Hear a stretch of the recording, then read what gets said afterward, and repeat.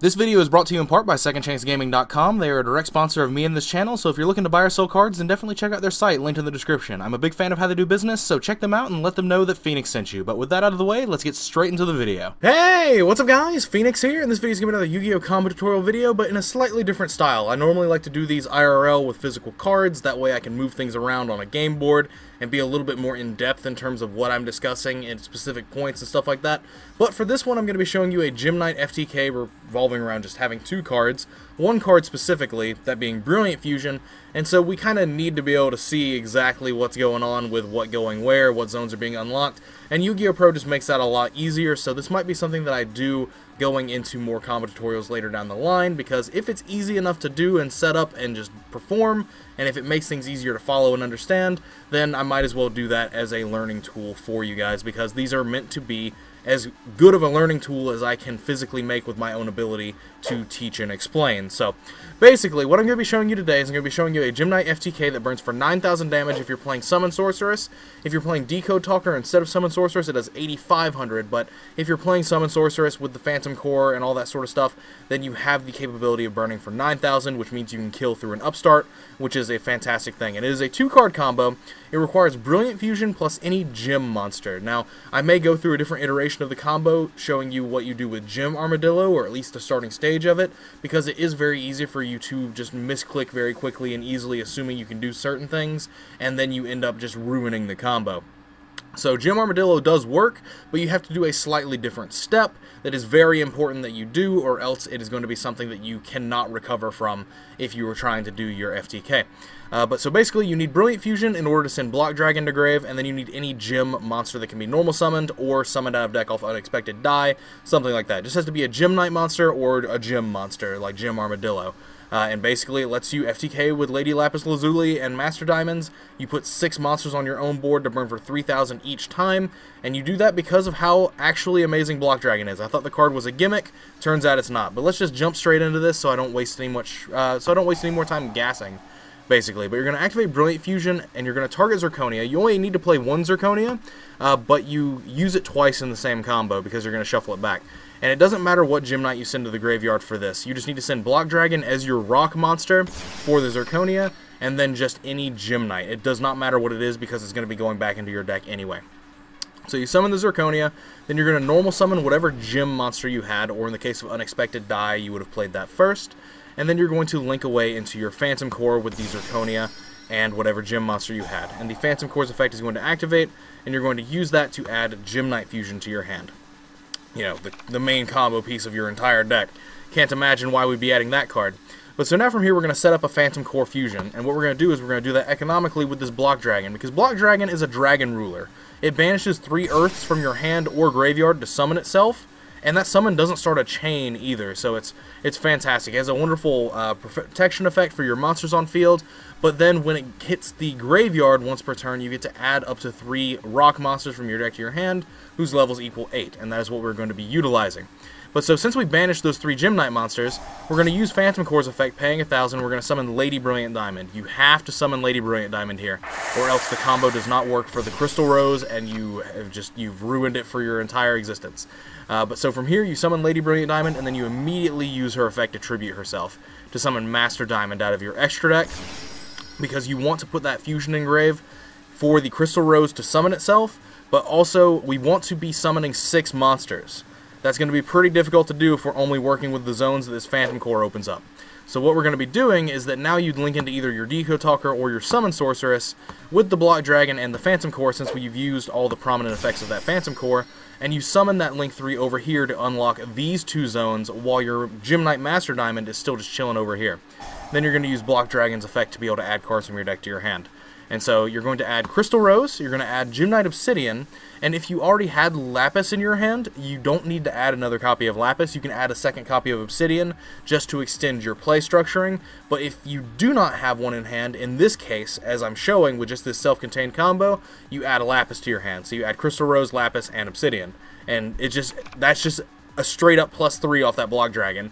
Like that's that's actually just wild. But so, from here, to continue on, we have fresh new zones opened up by the Summon Sorceress, so you activate the Gem Knight Fusion, and you go into that Zirconia again, the same Zirconia you summoned the first time, uh, you're going to just go ahead and go into it this time. And you're going to use Lapis and the Crystal Rose, and you're going to summon Zirconia right here. And so from here, because you had that uh, because you had that Lady Brilliant Diamond in your grave, you can now use the Crystal Rose, and you can mill uh, a Lazuli from your deck to get that Lapis back. So what we're going to do is we're going to do just that. We're going to mill Lazuli from our deck off Crystal Rose to make it copy, and then Lazuli's effect is going to trigger adding that Lapis back to hand. Now we have the Lazuli that's in our graveyard, which can be banished to recur the Gem Knight Fusion. We also have the Gem Knight Phantom Core in our grave that, can, that can be recurred as well. Uh, so from here, we're pretty set as far as what we need to do for getting all six of our monster zones filled. And so you're going to make just a Lady Lapis Lazuli here with Obsidian and Lapis in this other zone that uh, Summon Sorceress opens for you. And then this Obsidian is going to trigger summoning Lapis back. So now we have six monsters on field, and every single one of them was a special summon monster. That's actually super, super duper important. And so you don't have any more vanillas in your graveyard. So what you're going to do is you're going to use Lady Lapis Lazuli's effect. It doesn't matter what you mill. You can mill a vanilla. You burn for 3k. At this point, we have all the resources we need to make things operate smoothly. So what you're going to do is you're going to use Knight Fusion. You're going to banish the Obsidian from your grave to add Knight Fusion to hand. And what we're going to do is we're going to activate the Knight Fusion and we're going to get our second Master Diamond on the field by getting rid of the Lady Lapis Lazuli so the first one can copy it. So you're going to get rid of Lady Lapis Lazuli, you're going to get rid of the Zirconia because you want to keep one zone open, and then you're going to get rid of either Crystal Rose or Lapis. It doesn't matter which. I prefer to get rid of the Crystal Rose, personally. Uh, and then you summon this Master Diamond over here. And so now what you're going to do is you're going to activate this Master Diamond's effect to copy this effect, but you're not going to use the burn effect yet, because we need to put more monsters back onto the field. So we're going to do that with the Summon Sorceress. The Summon Sorceress is going to target this Master Diamond, and it's going to summon literally any rock monster from our deck. Uh, so we'll summon the Gem Armadillo uh, into this zone. I have selected a zone. Why is it not letting me do it now? Amazing. Amazing times for an amazing program. See, this is why I don't like to use Yu-Gi-Oh! Pro for this shit. There we go. Alright. Lag spike over. Alright, so now you have five special summon monsters on your field. Summon Sorceress has put that back onto your board for you. And now you have live Block Dragon in your graveyard again. So you're going to special summon Block Dragon. You're going to get rid of the three convenient monsters that are in your graveyard for the Block Dragon. And you're going to special summon it back. now you're at six monsters again. So this Master Diamond has Lazuli's effect on it. So you're going to activate that, and you're going to send the Lady Lapis Lazuli from your extract to the grave, burn for 3k again. And then you have this Master Diamond, which can copy the Graveyard Lazuli's effect. And then you activate Master Diamond, and you send literally any card from your deck to the grave to burn for another 3k.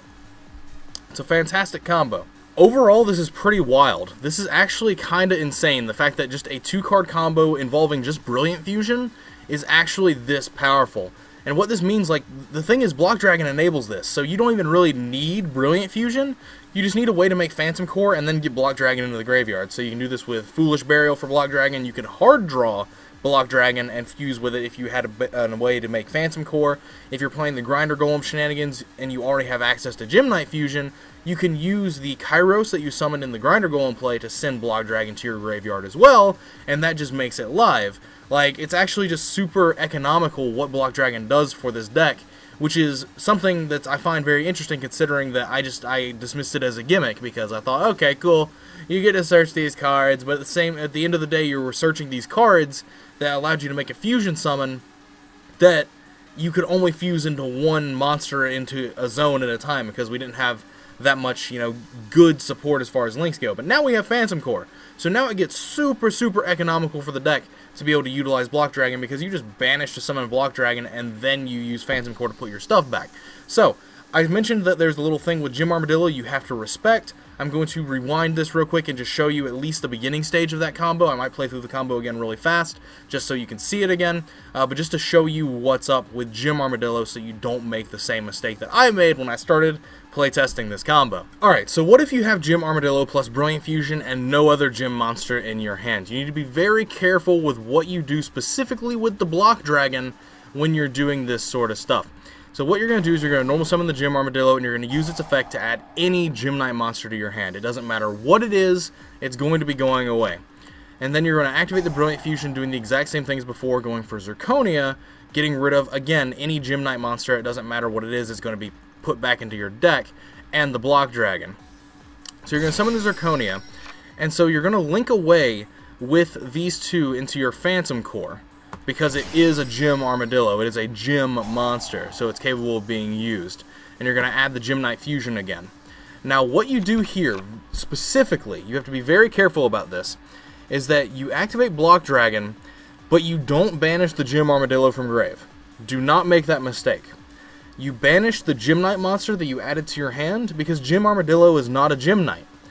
Meaning you cannot make Lady Brilliant Diamond off of Phantom Core's effect, just trying to return uh, these three to your uh, deck because it's not a Gem Knight monster. You don't have three Gym Knights. So you have to banish these and leave the Armadillo in your graveyard, which is fine. It functions as fuel for your second Block Dragon summon, but that's something you have to be very careful about is that I messed that up so many times when I was trying to figure out how this worked. And it was just something that I couldn't process in my head what I was doing wrong. But anyway, that is this FTK. It's a very robust FTK in terms of it takes very few cards to do. It's a two card FTK, and it's further supported by the rest of your deck. You run literally no brick cards because your entire deck is capable of being fused with. You can do this off Grinder Golem, uh, getting access into Block Dragon that way. Like, Block Dragon just enables a lot for this deck. So, that's basically all I wanted to cover for this video, and let me know what your thoughts are in the comments down below as per always. But other than that, as always, guys, thank you so much for watching. It helps out a ton. It, I mean, I wouldn't make these videos if people didn't watch them.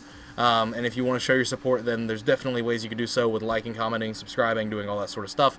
But otherwise, let me know what your thoughts are in the comments down below, as I've already said. Links, as always, are in the description down below to my Facebook fan page, as well as my personal Patreon page if you want to support the channel directly. If you like the content I've been doing and want to help the ability to keep, keep making that content, Patreon is the best way to do so. And even something as little as a dollar a month is a fantastic way to show your support, and you'd have my eternal gratitude if that's something you'd like to do. But other than that, as always, as I've already said, like, comment, subscribe. Thanks for your time as usual, guys and take care. I'll see you in the next video. Alright, so now that the video's over, I'd like to give special thanks to Iradium, Jay Garcia, Yuki Phoenix, Troy Perkins, and Eric Gertson, as well as everybody else that is currently supporting me on Patreon this month. You guys help out a ton, a lot more than you may ever know, and you have my eternal gratitude. You guys are forever awesome. Thank you so much for the support, you guys.